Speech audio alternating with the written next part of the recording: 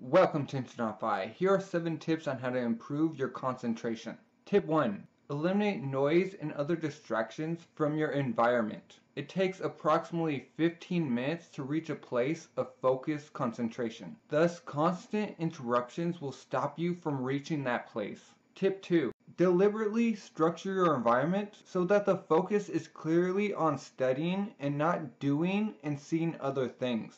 That may mean changing the room you work in, moving the desk, and so on. Tip 3. Clarify your goals for each piece of work. If you don't know what you're doing and you're hoping to achieve, you'll likely go in circles and simply waste your time. Tip 4. Break large areas of study down into smaller sections, and then plan how you're going to work through each of these. Tip 5.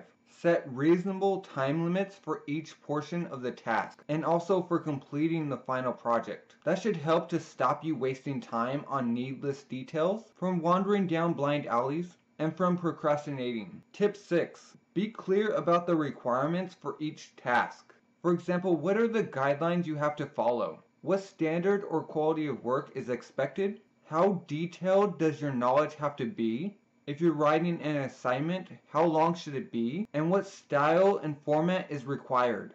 And tip 7, isolate yourself. Often it is best if we lock ourselves away and avoid other people when we really need to work. Find a place to hide away, or put a sign on your door, but refuse to talk to anyone until the work is done. And those are 7 tips on how to improve your concentration. I hope these help. Subscribe, like, comment. Thank you for watching, and hopefully I'll see you again later.